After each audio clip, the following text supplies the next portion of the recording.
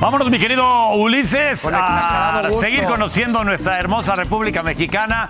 Vámonos hasta Campeche y nos enlazamos con Gerardo Sánchez, que nos trae siempre cosas interesantísimas de esos lugares hermosos que tiene nuestro país.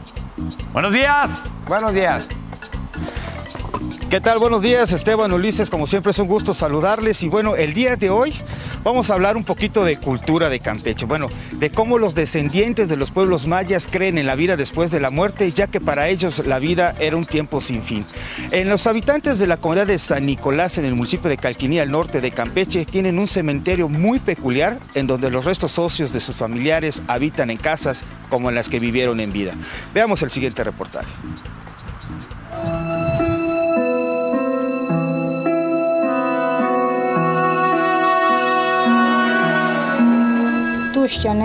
Alejandro, Cananta, ba, Cananta ni tienen tela cada año titali. Matin patkech. Tian tian nache, tian kanle. Los descendientes de la civilización maya creen que cuando una persona muere, su alma va al inframundo y que regresan a la tierra en estas fechas que se celebra el Hanal Pichán o comida de las ánimas en la comunidad maya de San Nicolás, Calquiní, a 101 kilómetros al norte de Campeche, sus 403 habitantes tienen una peculiar forma de mantener viva la memoria de sus fieles difuntos.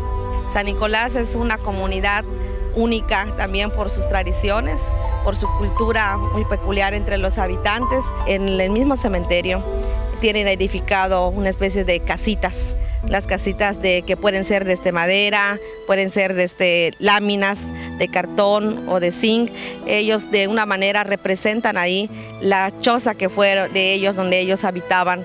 Los restos óseos son colocados en el cementerio de San Nicolás por los familiares en construcciones similares a las que usaban en vida, pues creen que sus muertos también tienen derecho a reposar cómodos y en paz. Cada una de sus casitas lo toman como que en esos días pues sus seres queridos vienen a esas casitas de tal manera que las van arreglando, les van poniendo sus flores, les van poniendo sus ofrendas. La tradición de aquí es que nosotros hacemos estas casitas con lámina y palitos, pues porque para nosotros este es el, segundo hogar de nuestras familias. Aquí así que los colocamos, los, limpiamos, las, las, osamentas, le, le ponemos veladoras, sus flores, hacemos un rezo.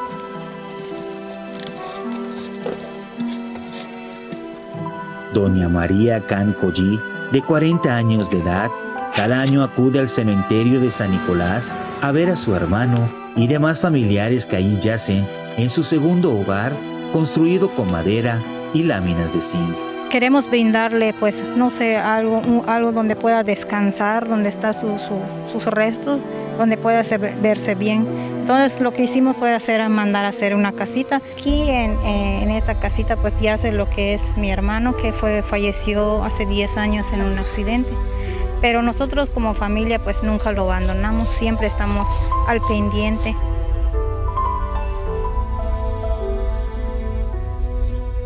Además, en San Nicolás, los habitantes acostumbran a desenterrar los restos de sus familiares luego de tres años y conservarlos en una caja y expuestos al aire libre.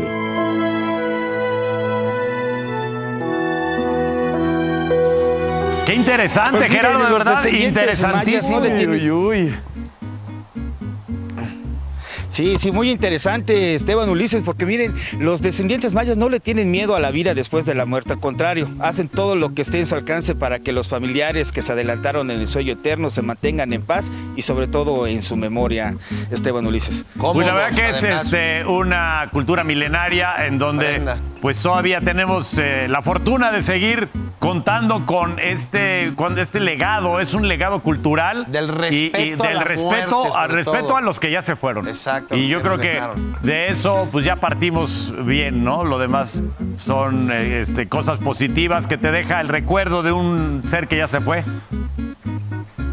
Así es, efectivamente, sobre todo ese respeto hacia los que se fueron, no lo ven como algo eh, burdo o como algo que esté fuera de lugar, al contrario, lo hacen con amor y con cariño y con mucho respeto, sobre todo para los familiares que ya se adelantaron lo en la vida. Lo que no entiendo es por qué el Rodo Rivera ya tiene una hamaca en unas casitas de No, no es cierto, no es cierto. El Rodo Rivera es jefe, es jefe de manzana ahí.